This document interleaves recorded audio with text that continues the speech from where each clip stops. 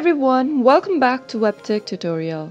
In today's episode, I'm going to show you how to create a new AOL mail account. Before starting, if you are not subscribed to WebTech tutorial yet, go ahead and hit that subscribe button. Press the bell icon so that you never miss another update from us.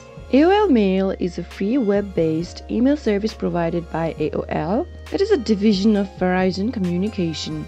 To sign up to AOL, go to your web browser and type in mail.aol.com.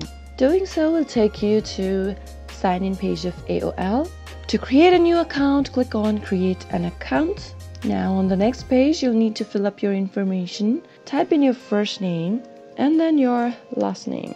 Type in an email address for your AOL and next, create a password for your account.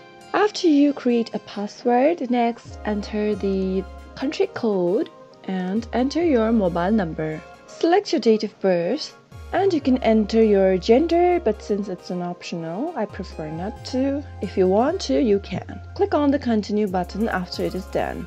Now, a verification code will be sent to the phone number you just entered. To receive the code, click on text me a verification code. Wait for your code to arrive as soon as you get the code, type it in. Now click on verify. Now with this you have created an AOL mail account. Simply click on done. With this you have successfully created an AOL mail account. To get started, click on get started and this is it. That is how you can create an AOL mail account quick and easy. If you liked the video, go ahead and give it a thumbs up. Feel free to comment down below in the comment box if you have a question or a feedback for us. I'll be back soon with more tutorial episodes again. Thank you for watching.